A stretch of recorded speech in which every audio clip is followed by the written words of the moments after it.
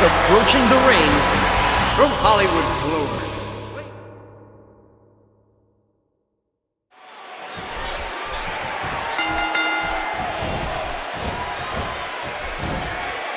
You can see the pain shoot through the superstar's body off that slam.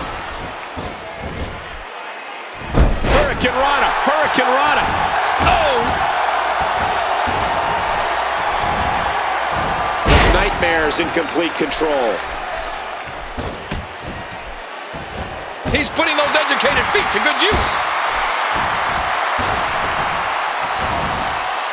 Well, if we're going to talk Dolph Ziggler and pay-per-views, we can't begin with anything else other than the 2012 Money in the Bank.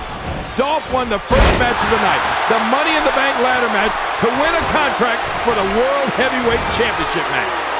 Then he snaps off the hurricanrana. Just planted him with a DDT.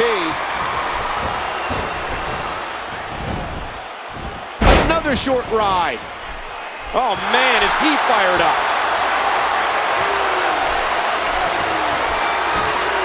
Watch out! A super kick to the face, and this could be the beginning of the end. An impressive combination of kicks. Dolph Ziggler winning the opening Money in the Bank match at that pay-per-view in 2012 sent a message that the show-off had arrived. Dolph Ziggler earned that briefcase and did go on to cash it in to become World Heavyweight Champion.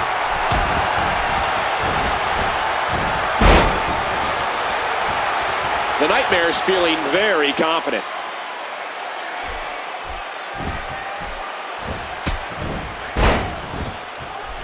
Oh, there it is!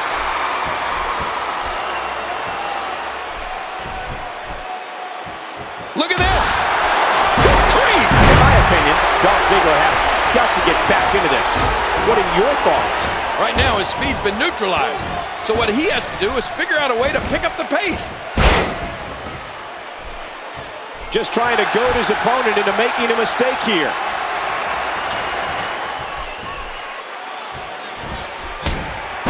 You know, to have a legitimate chance against Dolph Ziggler, an opponent has to try to take away his legs. I mean, if you can work a leg to slow him down and keep him out of the air, an opposing WWE superstar could have a chance. Oh, and stay the heck away from the zigzag.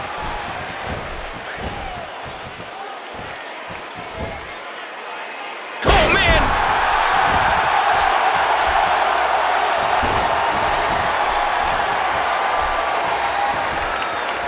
Was able to reverse that.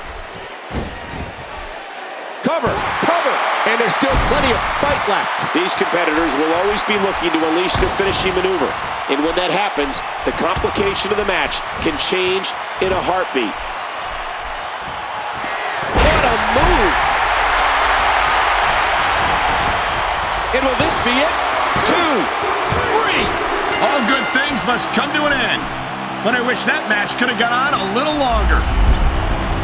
Let's go to the highlights here.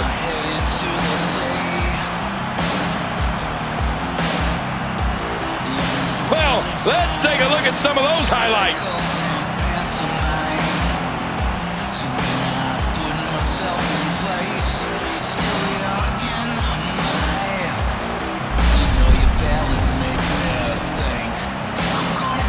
Here is your winner, Devil. A lot of